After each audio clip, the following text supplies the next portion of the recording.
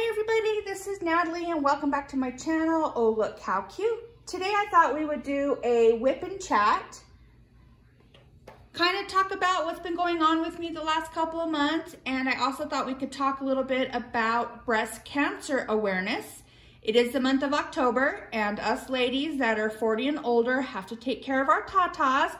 So I found a really good article I thought I could reach you guys and we can uh, have a small discussion about it. So the diamond painting I'm working on right now is the Snow Queen by Diamond Art Club. I really had a lot of fun working on her. The colors are so vibrant and beautiful. Um, I am working on this side of her right now. I'm right here on the corner of her. So this part is all done. And I'm right here on the corner and then I'll flip her over and start on that side. So I don't get a whole lot of time to diamond paint. And when I do have time, I'm exhausted. So it's been taking me quite a while to get her done. But we're here now and we're gonna work on it. All right, so just to kind of give you a little heads up, I know I've been MIA the last couple months. Couple reasons is it was summer, the kids were home, and it was hard to find time to sit down and video. And work's been really busy. I work for an airline and the summers are really busy. So it's just been really hard to just sit down and do anything lately. But now the weather's cooler, the kids are back in school, my job's mellowed out, I found a schedule that works really well for me. So I'm finding that I'm missing you guys and I want to get back into the swing of things. So um, I do not like having a glare on my diamond painting and I have a glare right now, but if I move the light, it's dark and you guys won't be able to see what I'm doing. So if you see me go like this, it's because I'm trying to block the brightness of it. So it looks like I'm actually done with this color. So we will move on to the next one. Um, also, another reason why I've kind of been MIA is, I don't know, I've been watching a lot of diamond painting videos and I guess you could say I'm a bit jealous.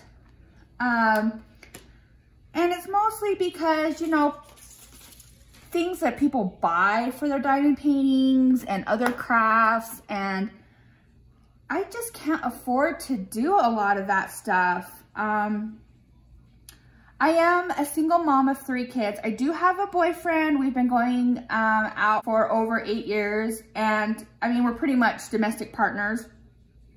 But he only works part-time and I'm the full-time breadwinner in our house. And so I work a lot to make ends meet, but he keeps the house together and does all the cooking and cleaning. I don't have to do any of that. He takes care of all of it. He does all the bills, everything. So because he does the bills, he's really good with money. Me spending money has really come to a halt because he can see what I'm spending now. I know, terrible. I, I did really good at hiding it, but I'm glad I have him to keep me grounded because um, I love to spend money and I love diamond painting and everything I find, I'm like, oh my God, look how cute. And I have to have it.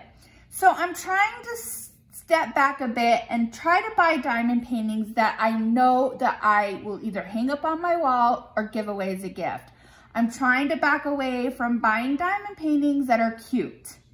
So I did, uh, I do want to get the whole collection of the princesses from Diamond Art Club. Um, I know a lot of them are on clearance, so I'm nervous, but I figured each payday I can buy one. And I do want to get the whole set of that, so that's kind of what I've been concentrating on. Um, but yeah, and then of course, now they're coming out with the Hannah Lynn designs. I gotta have those. So yeah, it's been a little bit difficult and it's just hard because now a lot of the diamond diamond painters that I watch on YouTube are doing coloring and they're buying all these markers and pencils and pastels and chalks and blending tools and all this kind of stuff and nice diamond painting pens and containers and all kinds of fancy stuff.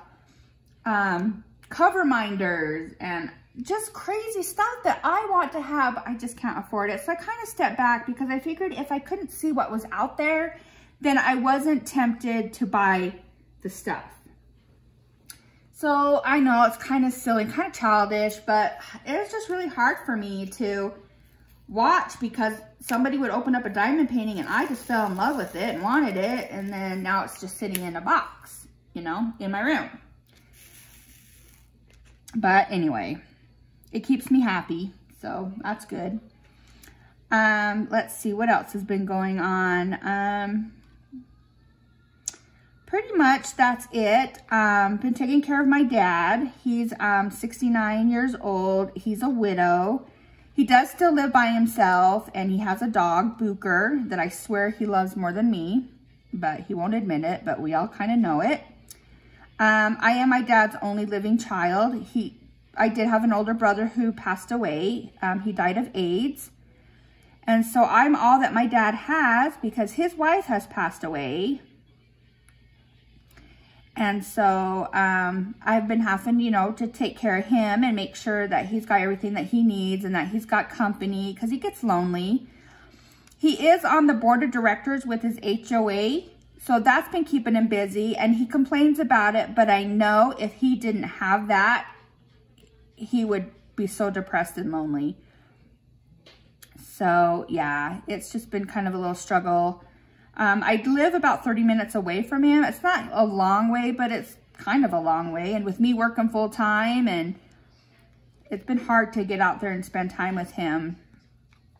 Um, there's been a lot of death lately. A lot of people are passing away. Um, I had a girlfriend that lives in Alaska and I met her, we played bingo together online on Facebook, Bingo Blitz. And I've known her for years and she's come to Utah and I've met her and um, she's only two years older than me. I'm 45, so she was 47, getting ready to turn 48. And she died in her sleep. She was healthy. She went to the gym every day. Um, and all of a sudden I read on Facebook that she died in her sleep. And I'm like, what? How? She's the most healthiest person I know. So it just kind of really opened up my eyes. I'm like, oh my gosh, you know, I'm 45 and I better get my butt in gear and start taking care of myself because I'm not ready to pass away. I know it's inevitable and I know I can't stop it from happening, but I'm sure to try. So that kind of got me scared. Um, my ex-father-in-law passed away um, and it was a sad passing because he was getting out of bed. He slipped and fell and bumped his head, died, just like that. And he, otherwise he was, you know, pretty healthy. Um, so it's just crazy stuff like that is happening. And then a girl that I work with, her niece, who's only six years old, just died of leukemia. And we've watched her story. And uh, it's just been really crazy and depressing. And I just, you know, just decided just to step back and and enjoy my life and not be in such a rush and not have to worry about what the next what the next door neighbors are doing or what my YouTube community is doing and just focus on myself and do what I can do and what I can afford and that kind of stuff. So I don't know. I did just kind of take a step back and um, I just barely started getting back into it and um, got contacted by the co a company to do a review for them and so, of course, I did a video for them, and then it kind of got me back back into it. I'm like, oh, I kind of missed this. So here I am, to do a whip and chat and uh, kind of let you know what's been going on and that kind of thing. So, let's see. I am working on number two, which is 312. Pardon me. And it looks like I've got that done. And of course, I'll find one after I put it away. It's just the way it goes. Um, so I have had a total of two mammograms since um, I turned 40 and I'm 45. I thought you had to be 50, over 50, but apparently it's 40 now. They've changed it. The first year I went, everything came back fine. The second time I went, they found something abnormal. And of course, then I had to go into another place where they really did extensive screening of my breast tissue. And of course, it came back negative. $660 later for them to squish my boobs. It wasn't the most fantastic experience. Can I just tell you that? So I do have to go back again next month and I'm not really looking forward to it because it hurts. And if it comes back positive again, I'm going to freak out because I don't have $660 lying around to, for them to do another exam. So been kind of putting it off, but I know I shouldn't. Um, you know, a couple of our diamond painter, our diamond painting community has had breast cancer at a young age. Ella from Kicking Cancer's Butt and Danielle from Stitcherista, they both are were in their 40s when they got breast cancer. So I need to jump up on it and take care of it. So um, it's just, you know, not fun. All right, so let's see. I got this really cool article. I thought we could talk about it.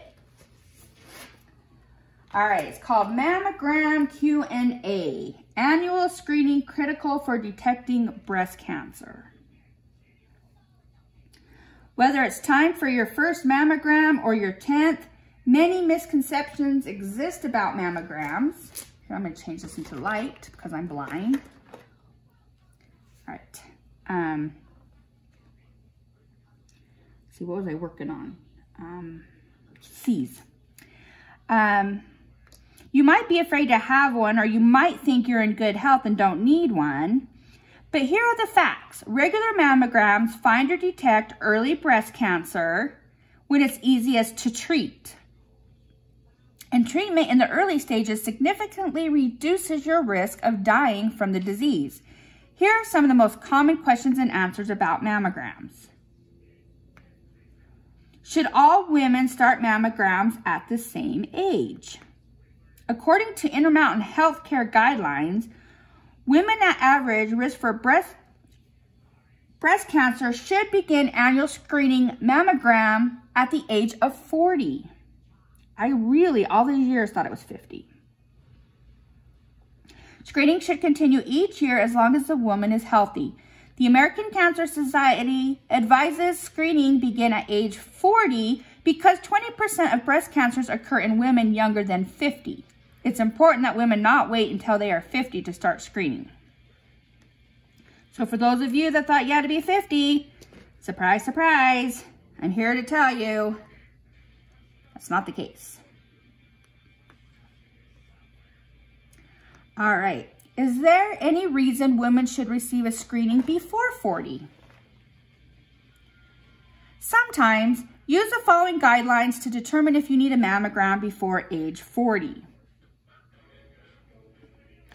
Women at high risk for breast cancer are those with the, excuse me, women at high risk for breast cancer are those with the breast cancer gene or for, or, or, oh my gosh, you guys. Women at high risk for breast cancer are those with the breast cancer gene or for, or first degree relatives like a mother or a sister with breast and or ovarian cancer they should consult with the genetics counselor for potential MRI screening. Now, my maternal grandmother did have breast cancer, but they didn't find it in her until she was 70. So, um, so when we found that out, that's when I started going and found out, oh yeah, you were supposed to go when you were 40. I'm like, oh, huh, great. So, but at least I'm going. So I'm proud of that.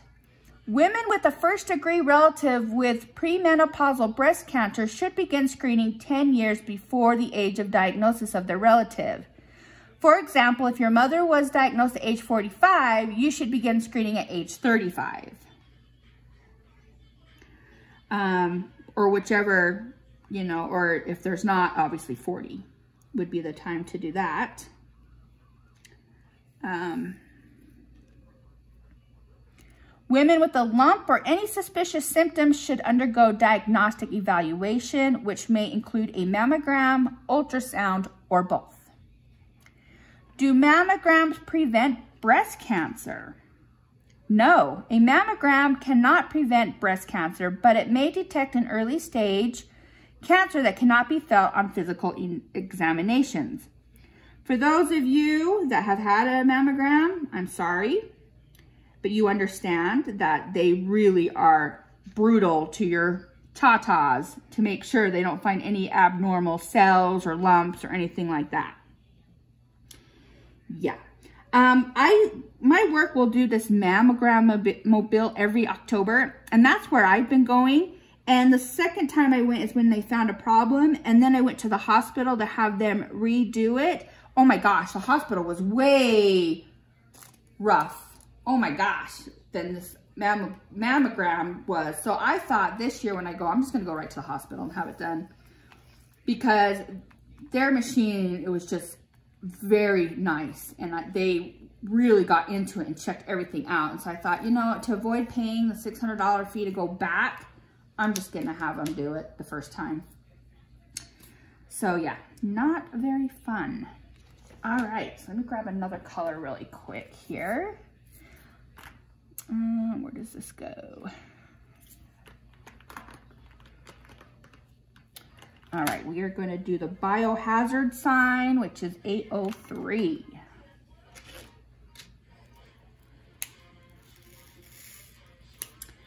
All right. Okay. Next. Does a call back from an abnormal screening exam mean I have cancer? Well, I had that experience, so this is true to its word. No. It simply means the radiologist wants to do more tests, like an ultrasound to take a closer look at any areas of concern. It's not uncommon for a doctor to ask for additional testing due to an abnormal mammogram, even if a patient has had mammograms annually for years. She may get called back for more testing, but it's not a reason to worry. According to experts in breast imaging, fewer than 1 in 20 women recalled from an abnormal screening mammogram will have cancer. I wish I would have read this article last year when I had an abnormal screening because I was freaking out. So that's good to know that one, one in 20. So, but like I said, I'm just going to go straight to the hospital and just have them do it because it was definitely a better screening in my opinion. All right. Do all abnormal findings from a mammogram indicate breast cancer? No, the breast tissue is a lot like a fingerprint and images will vary. If this is your first time receiving a mammogram, the radiologist will need a starting image to see what's normal breast tissue, what's normal breast tissue for you. This is another reason why it's common to be called back after your first mammogram. Lumps or tumors found in the breast are often benign. In the U.S., 7 out of 10 biopsies results are not cancer, but a biopsy is the only way to find out. I did not have to have a biopsy.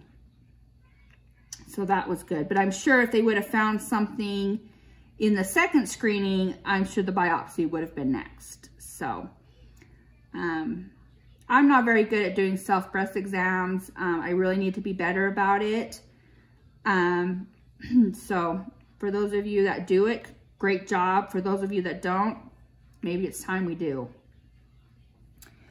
All right, do I need a referral from my doctor to get a screening mammogram? I think I need more wax. This is coming apart.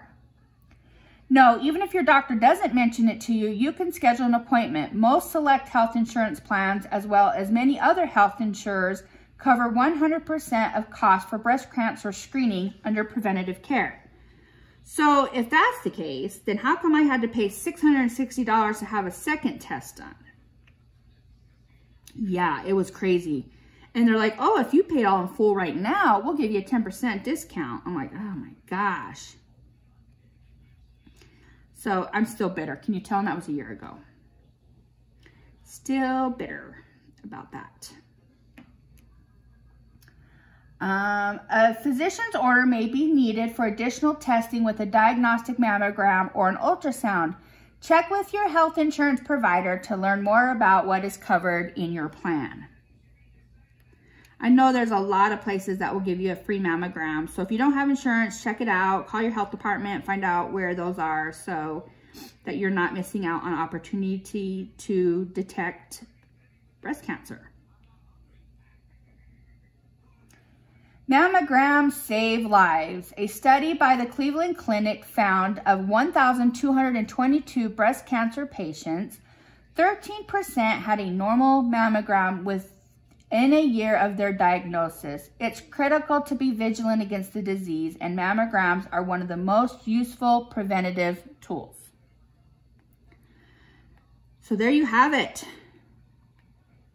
How to what the purpose of a mammogram is, how to get one done, what it finds, what it means, all that good stuff. So please, ladies, take care of your tatas.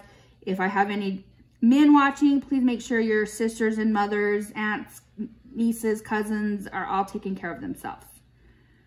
You need to fight the cancer because it's, it's taken over. And these small kids that are dying from it, it just kills me. Six years old, my friend died of, of, of leukemia and it's just, oh my gosh, heartbreaking. Absolutely heartbreaking. And I didn't even go to the funeral because I could not see a little coffin. I just couldn't do it. I just could not bring myself to do it. So, um, cancer is a big deal, guys. So make sure you're getting your testing. Let's see how much time we have. All right, so we're about 20 minutes into the video. I'll go ahead and end it now. Um, I appreciate you all sticking it out with me and listening to my mammogram Q&A. I hope everybody um, is taking good care of themselves. And uh, I'll see you in the next video. Bye, guys.